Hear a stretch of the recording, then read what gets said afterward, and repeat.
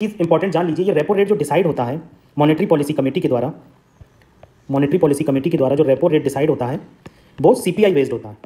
W P I based नहीं होता। ये इंपॉर्टेंट चीज़ है वेरी इंपॉर्टेंट इसको आप अच्छे से जान लीजिए। जो हमारा रेपो रेट होता है, वो सी पी आई बेस्ड होता है कंज्यूमर प्राइस इंडेक्स बेस्ड होता है, ना कि wholesale price index based ठीक है?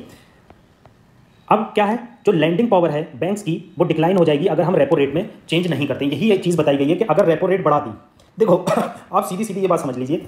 मान लीजिए रेपो रेट बढ़ा दी। अब रेपो रेट आरबीआई ने बढ़ाई। आरबीआई जब रेपो रेट बढ़ाता है तो जो बैंक्स होती हैं, जो कॉमर्शियल बैंक्स होती हैं, उन्हें लोन लेने के लिए आरबीआई के पास जाना पड़ता। है जब वो आरबीआई के पास जाएँगी लोन लेने तो जब वो लोन लेंगी तो उन्हें अधिक इंटरेस्ट रेट पे लोन मिलेगा। इंटरेस्ट रेट उनका बढ़ जाएगा। ये क्यों होगा? क्योंकि रेपो रेट जो है रेपो रेट क्या होता है?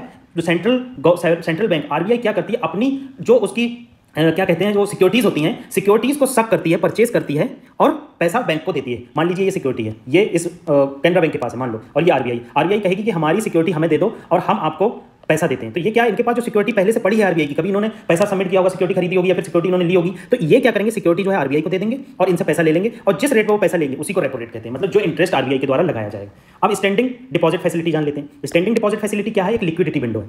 ये स्टैंडिंग डिपॉजिट फैसिलिटी ऐसी चीज़ नहीं है कि आप जा रहे हैं आरबीआई से पैसा ले रहे हैं आरबीआई से पैसा लेने के बाद आप पब्लिक में डिस्ट्रीब्यूट कर रहे हैं, वो लोन की फॉर्म में पब्लिक आपसे ले रही है। ऐसा नहीं। ये लिक्विडिटी विंडो है जिसमें RBI will give banks an option to park excess liquidity with it मतलब जो बैंक के पास कभी कभी क्या होता है, बहुत ज़्यादा लिक्विडिटी होती है। उस लिक्विडिटी को बैंक रखना नहीं चाहती है ड्यू टू मेनी रीजन होते हैं कि मार्केट में मनी सप्लाई ज़्यादा हो जाएगी या फिर मार्केट से इतना इंटरेस्ट नहीं मिल रहा। तो क्या करती है ये? अपना पैसा जो है आरबीआई के पास रख देती है। आरबीआई के पास रख देती है और इसमें आरबीआई के द्वारा कोई कोलेट्रल नहीं दिया जाता। मतलब जो कोलेट्रल अभी हमने यहाँ पर दिया था, यहाँ पर कोलेट्रल नहीं दिया जाता है और इंटरेस्ट ज़रूर मिलता है। आप अगर S F S D F और रिवर्स रेपो फैसिलिटी में डिफरेंस देखेंगे स्टैंडिंग डिपॉजिट फैसिलिटी और रिवर्स डिपॉजिट फैसिलिटी में डिफरेंस देखेंगे तो आपको यह पता चलेगा स्टैंडिंग डिपॉजिट फैसिलिटी में भी इंटरेस्ट मिलता है और reverse deposit reverse repo rate में भी आपको इंटरेस्ट मिलता है। रिवर्स रेपो रेट में भी तो यही होता है। कमर्शियल बैंक जो है अपना पैसा आरबीआई के पास रख देती हैं। आरबीआई पास रखने के बाद ये इन्हें क्या इंटरेस्ट मिलता है? मगर जबकि स्टैंडिंग डिपॉजिट फैसिलिटी में इंटरेस्ट तो मिलता है, मगर एक चीज़ इंपॉर्टेंट है does not require bank to provide collateral while parking fund ये चीज़ बहुत इंपॉर्टेंट जब आप फंड पार्क करते हैं आरबीआई में मतलब रखते हैं, तब आपको कोई भी कोलेटरल प्रोवाइड नहीं किया जाता है। यह standing deposit facility and reverse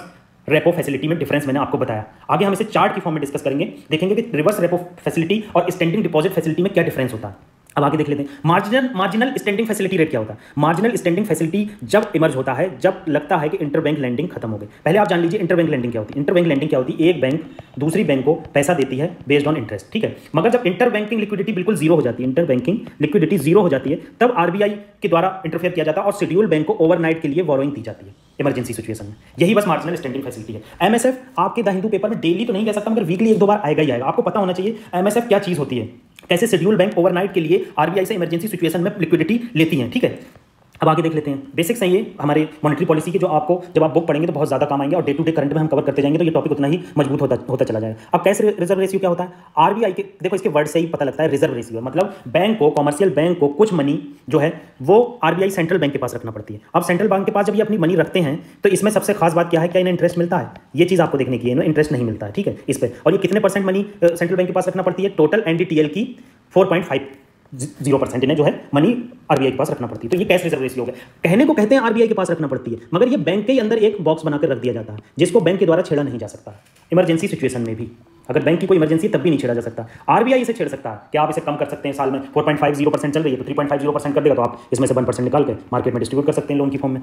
अब स्टेचुटरी लिक्विडिटी रेशियो क्या है? अब एसएलआर इन्होंने बताया कि परसेंट है। मतलब टोटल एनडीटी एल का अट्ठारह जो है बैंक को मेंटेन रखना पड़ता है लिक्विडिटी की फॉर्म में। अब ये लिक्विडिटी की फॉर्म किस प्रकार की होती है? कैश होता है, गोल्ड होता है अदर सिक्योरिटी होता है। हमने अभी सीआरआर में देखा कि केवल ये कैश में होता है, नाम ही उसका है कैश रिज़र्व रेशियो नाम से ही कोई चीज़ आपको पता चल जाएगी। और यह स्टेचुटरी लिक्विडिटी रेशियो लिक्विडिटी जो होती है गोल्ड की फॉर्म में भी हो सकती है सिक्योरिटी की फॉर्म में भी हो सकती है और कैश की फॉर्म में भी हो सकती है। इस एस का यूज़ आप कभी कभी देखेंगे, जब बैंक बहुत ज़्यादा क्राइसिस में आ जाता है तो Reserve Bank of India SLR को एज अ कोलेट्रल यूज़ करने देती है। सेंट्रल बैंक से लोन लेने के लिए। ये चीज़ आपको देखने को मिलेगी। अब क्या है, इन्होंने ये चीज़ बताई है कि कैसे जब रेपो रेट बढ़ती है तो मार्केट में इफ़ेक्ट कैसे पड़ता है। ऑब्वियस सी बात है, जब आप रेपो रेट बढ़ा देंगे तो बैंक क्या होगी? लोन लेने में असमर्थ रहेगी आरबीआई से। जब वो लोन लेने में असमर्थ रहेगी या फिर लोन लेगी तो रेट उसे ज़्यादा देना पड़ेगा। तो जब रेट ज़्यादा देना पड़ेगा तो वो पब्लिक पे भी रेट ज़्यादा चार्ज करेगी। जब पब्लिक पर रेट ज़्यादा चार्ज करेगी तो होम लोन के कस्टमर क्या हो जाएँगे? कम हो जाएँगे। और बोरोवर्स पर इफ़ेक्ट पड़ेगा और लैंडिंग रेट पर इफ़ेक्ट पड़ेगा। मैंने बताई हाइक हो जाएगी। तो इससे क्या होता है मार्केट में लिक्विडिटी कम हो जाती है। जब लिक्विडिटी कम हो जाती है तो इन्फ्लेशन क्या होती है? डाउन हो जाती है। आप ध्यान से सुनिएगा मेरी बात। आपको ये बातें बहुत टफ लगेंगी इनिशियली मगर धीरे धीरे ये इजी हो जाएँगी, जैसे जैसे हम डे टू डे डिस्कशन करेंगे। जैसे पहले हमने इन्फ्लेशन को डिस्कस कर चुका है, जिन लोगों ने हमारे पहले के आर्टिकल सुने तो आज और ज़्यादा ईजी ईजी लगेगा। और जैसे जैसे हम आगे बढ़ते जाएँगे तो ये ईजी होता चला जाएगा, ठीक है? अब क्या है? इसमें एक चीज़ जानने की है, जो अक्सर आर्टिकल्स में देखने को नहीं मिलती है, ये इंपॉर्टेंट है। क्या होता है? जो डिपॉजिटर होते हैं जब वो डिपॉजिट करते हैं, जैसे कंजर्वेटिव इन्वेस्टर नाम दिया इन्होंने तो वो बैंक में कुछ फिक्स डिपॉजिट कर देते हैं। जब वो कुछ फिक्स डिपॉजिट कर देते हैं तो उनको क्या है? रेट हाइक हो जाता है। ऑब्वियसली बात है, जब आरबीआई ने रेपो रेट बढ़ा दिया तो बैंक भी रेट बढ़ाएँगी तो डिपॉजिट डिपॉजिटर को भी कुछ बेनिफिट मिलेगा, क्योंकि जैसे ही रेट बढ़ती है तो बैंक क्या करती है? जो पुराने जो डिपॉजिटर है, उनका रेट बढ़ा देती है, और जो डिपॉजिटर का पैसा है, वो मार्केट में नए रेट पर देती है। जब वो मार्केट में नए रेट पर देगी तो डिपॉजिटर को भी कुछ बेनिफिट देगी ना। आप लीगली चलेंगे ना, कुछ करप्शन नहीं कर सकते। तो यही चीज़ यहाँ बताई गई मगर आपको ये चीज़ कहीं नहीं मिलेगी। ये बहुत इंपॉर्टेंट है। एक बार मैं रेड पेन से लिख देता वेरी इंपॉर्टेंट ठीक है? अब ये चीज़ बताई गई बैंक रेज एडिशनल फंड कैसे बैंक एडिशनल फंड रेज कर लेती है, ठीक है?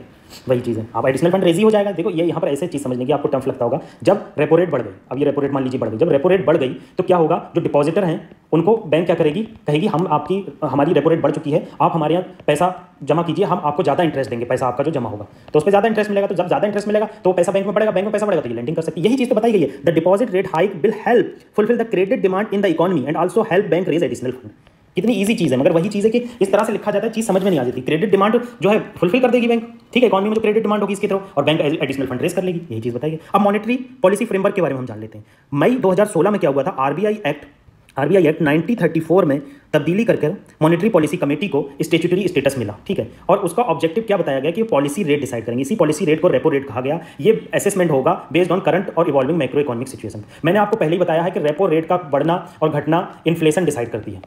ठीक है इन्फ्लेशन कम होगी, ज़्यादा होगी। और ये रेपो रेट जो डिसाइड होती है, ये कंज्यूमर प्राइस इंडेक्स की बास्केट के बेस पे होती है। ये आप जान लीजिए, बहुत इंपॉर्टेंट है। यही चीज़ यहाँ बताई गई। अब इन्होंने रीजन बता दिया कि transfer from monetary market to entire financial system which turn influence aggregate demand वही कि डिमांड कैसे अप एंड डाउन होगी अगर रेपो रेट में चेंज होगा। और ये इन्फ्लेशन और ग्रोथ को डिफाइन करती है। वही है कि आप इन्फ्लेशन बहुत ज़्यादा हो जाएगी तो इकॉनमी की ग्रोथ कम हो जाएगी, लोग जब इन्फ्लेशन ज़्यादा हो जाएगी तो खरीदारी कम करने लगेंगे ना। कोई सेब मुझे चालीस रुपये का मिलेगा तो मैं क्यों लूँगा? सेब की जगह मैं कुछ और अनार ले लूँगा, मगर यही सेब जो है तीस रुपये का मिलेगा तो मैं भी खरीद लूँ। तो यही इन्फ्लेशन ऐसे ही डिसाइड होती है। अब मॉनिटरी पॉलिसी कमेटी का देख लेते हैं। Monetary policy committee section 45 Z B RBI act 1934 के अंदर बना है। आपको बस इतना याद रखना है कि मॉनिटरी पॉलिसी कमेटी कब बना और क्या आरबीआई एक्ट 1954 या 1934 या 1949 के अंदर। तो आप ये जानेंगे 1934 के अंदर सेंट्रल गवर्नमेंट ने six member monetary policy committee बनाई और ये six member monetary policy committee ने जो है रेपो रेट में चेंजेस लाई इसी को पॉलिसी रेट कहा जाता है। अब इसका ऑब्जेक्टिव क्या? ये पॉलिसी रेट डिसाइड करता और इन्फ्लेशन के टारगेट को अचीव करता। वही बात आगे भी बताई गई। अब ये चीज़ इंपॉर्टेंट है। अगर जो मॉनिटरी पॉलिसी कमेटी ने डिसीज़न लिया है, वो बाइंडिंग होगा बैंक पर। आपका रेपो रेट बढ़ गया है तो बैंक को मानना पड़ेगा कि हाँ हम इतने पे ही आपसे आरबीआई से पैसा ले सकते हैं, ठीक है? आप इसमें आनाकानी नहीं कर सकते, आप इसको क्रिटिसिज्म कर सकते हैं, मगर एक क्रिटिसिज्म डेकोरेटिव क्रिटिसिज्म होना चाहिए, ठीक है? अब इसमें मेंबर